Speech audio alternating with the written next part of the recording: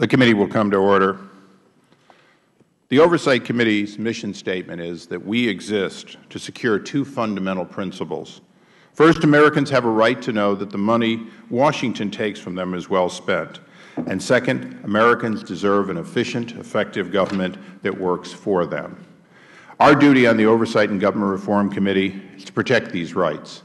Our solemn obligation is to hold government accountable to taxpayers, because taxpayers have a right to know what they get from their government. It is our job to work tirelessly in partnership with citizen watchdogs to deliver the facts to the American people and bring genuine reform to the Federal bureaucracy.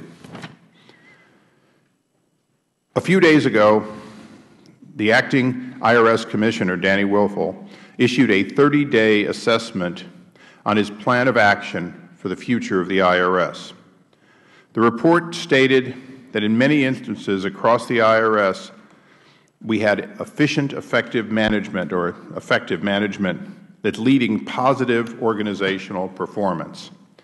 Unfortunately, we are here today because failures within the IRS are not isolated to just tax-exempt division. The revelation that, that a company called Strong Castle was able to acquire more than 500 million in potential contracts or in contracts for potential sales with no previous track record completely undermines the IRS narrative that just one branch or department within the IRS failed the American people. Our report, we believe, shows a cozy relationship between Strong Castle's President and the IRS Deputy Director for Information Technology Acquisitions, Greg, Greg Roseman. And it is the heart of this issue. Included in the uh, included in our report are exchanges of text messages that we believe are shockingly inappropriate and in some cases offensive. Furthermore, the fact that Mr. Castillo was able to successfully manipulate the system, and we are not alleging a crime, but successfully manipulate the, the uh, system to acquire contracts exposes staggering vulnerability in the IRS's acquisition process and jeopardize, jeopardizes billions of taxpayer dollars at, uh, uh, in this situation. Quite frankly, we are not sure that we have criminal element here, that we have criminal violations. What we are sure of is that the intent of Congress and the stated intent of this and each administration before has been thwarted. The intention of, without a doubt, that disabled military veterans receive preference flies in the face of a small injury in 1984 while attending the Military Academy Prep School, one so minor that it had no effect on college football participation for years to follow, and that took 27 years to conveniently ask to have this put in as a disability, not because of the true disability or inability to perform a job, but in fact in order to qualify for a preference statement. Additionally, the use of hub zones, and in this case one that was a legacy hub zone that actually the Verizon Center and the other parts of, of Washington, D.C. are moving out of that into thriving areas. The use of that in order to gain a, uh, a contract and then creating absolutely no jobs within that district that were directly related to Uh, or in support of this $500 million contract. Our investigation is still in its infancy.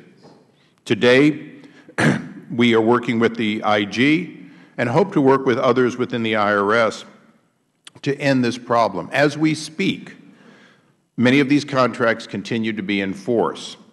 And perhaps that's the most distressing, is that the IRS officials immediately, uh, excuse me, initially denied and then repeated their denial that there was a problem.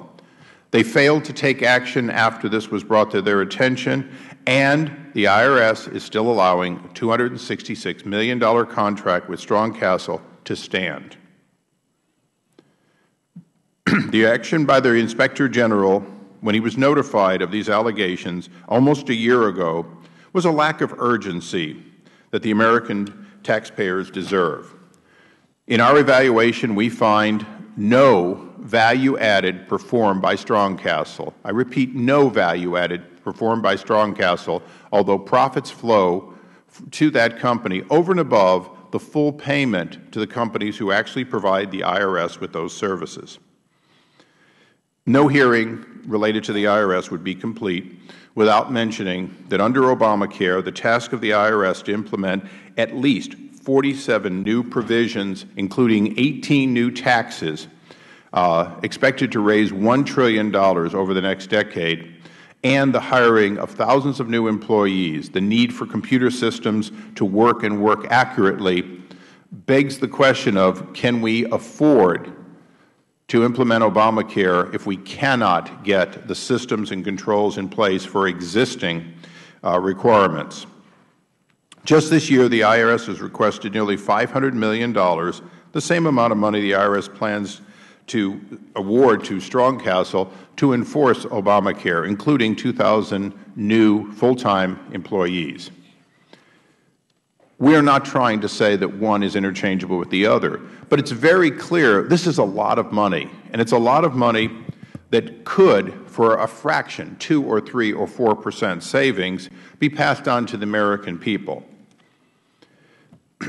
Often on this dais, we applaud appropriately Federal workers. And I want to take a moment to make it clear the vast majority of people involved in contracting in the Federal workforce take contracting seriously. They scrutinize the contracts and, most often, try to get the best value for the taxpayer. Because the best value is not always the lowest price, this is a difficult job, and it requires absolute integrity. If we do not have full confidence in our procurement integrity, then we must choose the lowest price. The lowest price is not always the best value for the taxpayer. But the analytics of lowest price versus lowest value depends on an independent, non-cozy relationship between the contracting officers and their superiors and the contractor. This committee has over the years applauded and will continue to applaud that most contracts have that characteristic. They are not always awarded the way contractors would like, but they are based on best value to the taxpayer. In this case, at least for this Chair and our uh, draft report, we don't believe that occurred, and that is the reason that we are continuing our investigation. I would now like to recognize and thank the Ranking Member for being my full partner in this investigation.